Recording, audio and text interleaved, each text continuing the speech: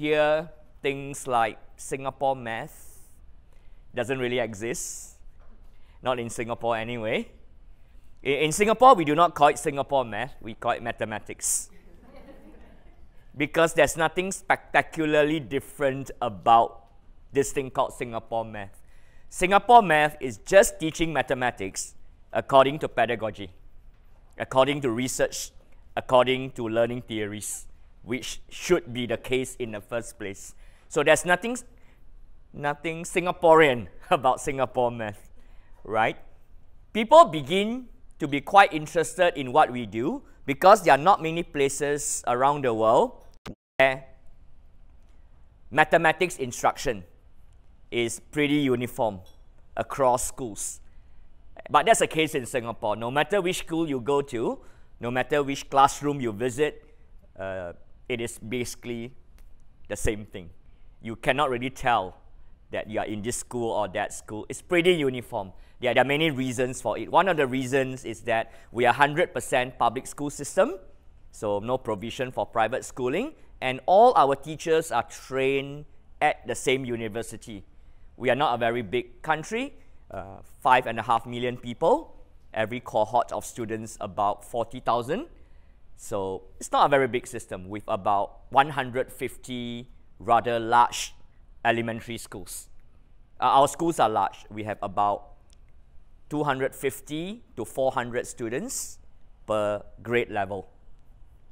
So that means you have several thousand students uh, in, in each school. So they are rather large schools, but only 150 of them. And people are also interested in Singapore math because it is an example of teaching and learning, because it's based on pedagogy, has managed to transform the learning of students. So students started back in the earlier days, uh, even as recent as the early 90s, not doing too well in mathematics. So uh, if you look at this table, which is a compilation done by Eric Hanushek and colleagues, these are economics professors at Stanford. Using the international scale, 500 would indicate adequate learning. So a score of 500 means students are on grade level. And a difference of 40 points is a difference of one year of learning.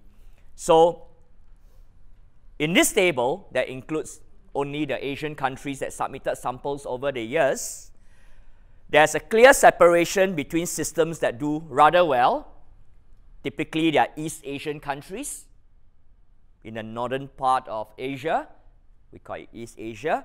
Uh, those countries are typically six to eight hours by flight from Singapore.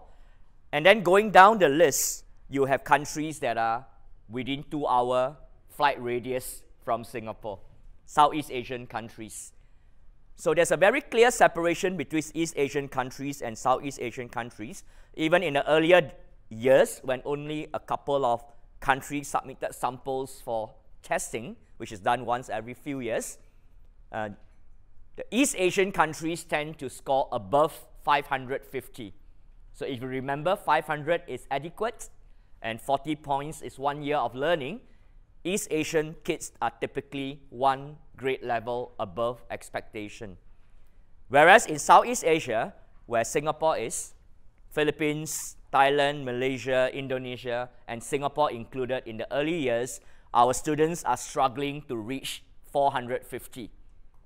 That means getting to the level which is one year below grade level is already a struggle for our, our students, let alone getting to the target. And over the years, things are getting a bit unfortunate for some Southeast Asian systems. Uh, for example, in Indonesia and the Philippines, their score is typically in the high 300s, 400, for example, which means 100 points below. That will equate to two and a half years below expectation. So there is a very clear separation but Singapore, over the last few decades, has been an outlier. In fact, it is such an outlier that Malcolm Gladwell included Singapore in the book called Outliers. it's not supposed to be doing well in, in education because we have a culture of teaching children that systematically makes students not good in academic work. Three things in particular in relation to mathematics. Rote memorization is pervasive in Southeast Asian classroom. We get our kids to memorize all kinds of stuff. So if you want to know the secrets to making students performing at a low level, I can tell you the secret. Rote memorization, doing procedures without understanding the meaning, and computation that are tedious and require paper all the time. Put it simply, uh, too much of paper and pencil calculation, especially those of the tedious kind, meaning those that doesn't lend themselves to mental strategies. Those are the three things that systematically make Southeast Asian students not do well in mathematics. So when Singapore started to remove those three things as early as 1980, but it took us a long time before we can even get it into the system, about 10 years, um, our students were not doing well. But once we managed to remove those three obstacles in a more systemic way, our students begin to perform much better, getting into at least 550s. Today's course is about what can we do in our lesson design and lesson de delivery to ensure that a lot of students get to the highest level of learning. Because today we know that it is possible it is possible to get a lot, a lot, a lot of students, even average learners, to perform at a pretty high level, indicative that the learning is quite deep. And through the lesson delivery portion of the course, hopefully we are able to go away with a collection of things, that routines that we can put in place to ensure an environment that is simultaneously safe and challenging. So how can we make that happen?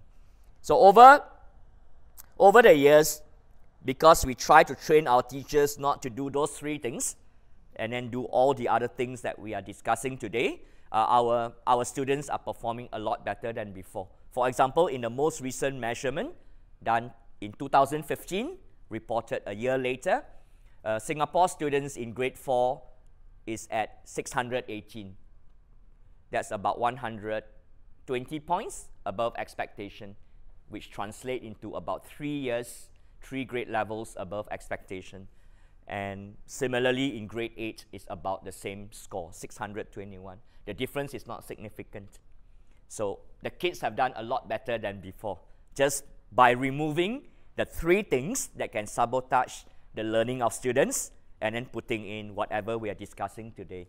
Those things we are discussing today, I think, will come to about five features of a lesson five learning experiences and four or five critical competencies. So that's our goal today, to get to those things. By the end of today, we should be able to say a good lesson that can promote deep learning uh, would have five features. And students will get about five experiences. And that will lead to development of five critical competencies. Right?